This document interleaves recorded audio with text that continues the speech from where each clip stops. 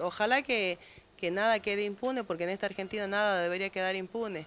Primero debería aparecer Marita, su madre debería reencontrarse lo más pronto posible con ella, pero sobre todo Micaela, porque decía Susana Trimarco que la chiquita sufre la pérdida del padre y de la madre. Inclusive ahora, eh, con todos los trabajos que desarrolla Susana Trimarco, debe viajar mucho en forma permanente, o sea que hasta esa nena que está entrando en la adolescencia, cuando todo niño ya comienza a adolecer de muchas cosas, eh, también a veces tiene que sentir que la abuela no está permanentemente al lado de ella. Yo he mantenido ocho años de silencio, yo he mantenido ocho años de silencio esperando a que se dicte un fallo.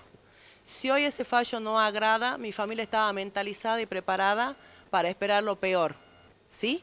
Si teníamos que festejar que se daba absolución como correspondía y como estos jueces lo han hecho, porque no les ha temblado el pulso a pesar de toda la presión política y la presión mediática que tenían. Se han regido a derecho y el derecho se rige en base a pruebas.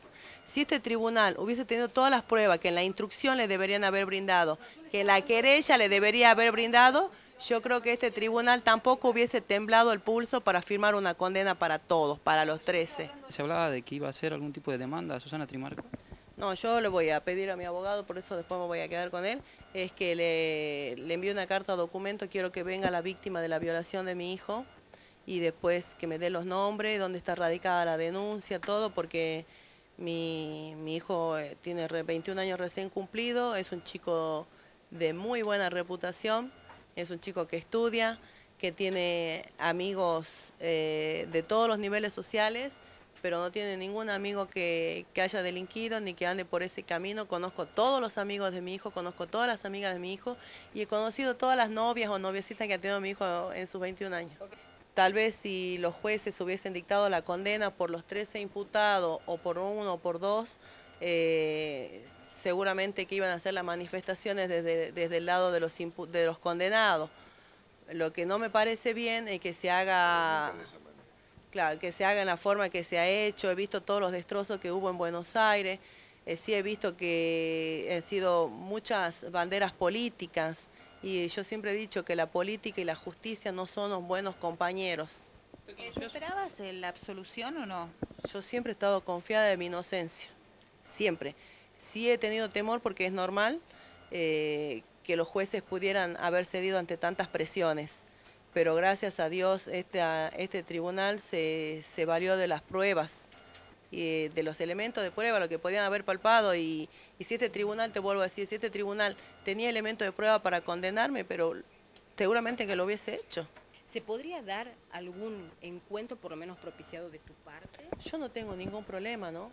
Yo no tengo ningún problema porque yo no tengo nada que temer y siempre he dicho, Susana Trimarco está perdiendo el tiempo si viene por detrás mío de mi hermano para encontrar a su hija. Nada más alejado de la realidad o de las posibilidades de encontrar a Marita Verón por medio nuestro. Palabras de Susana Trimarco ayer, en donde señala que usted, digamos, habría coimeado el tribunal precisamente para la sentencia. No, eso primero es mentira, lo conozco a los jueces, desde el año 85 al doctor Piedrabuena, luego cuando asume el doctor Herrera Molina, he tenido fallos adversos y no, me, no tan solo no me atrevería, sino de que los jueces de todos los tribunales orales de las salas penales son personas honorables, personas respetables. Entiendo su dolor y que este momento algunos exabrutos pudieran ser, pero eso es totalmente mentira. Y lo que me llama poderosamente la atención, que ella, justamente, no habiéndose callado ante nada y ante nadie, sabiéndolo 48 horas antes, de acuerdo a lo que dice, ¿cómo no lo va a decir? Eso es gravísimo, pero es mentira, ¿no? ¿De dónde? Por favor, no, es mentira. Doctor, ¿va a iniciar algún tipo de acción usted contra Susana o no? Mire, lo hemos visto y medio un poco ahí sobre la marcha, cuando uno escucha la verdad se nos pone lo...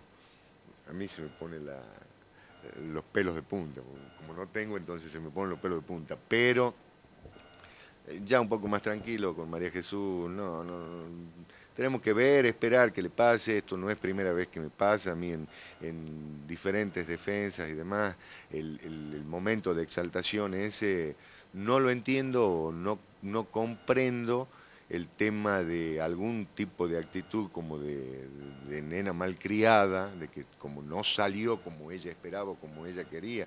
El proceso penal se hace para saber si se debe penar, no para penar. El que llega acusado con tales o cuales elementos después sufren eh, el, el tamiz que significa el juicio oral. Entonces yo, hablando respecto y pura y exclusivamente con el tema de mis clientes, yo estimo que no había elementos para condenar. Con respecto a los otros, quiero leer la, la sentencia.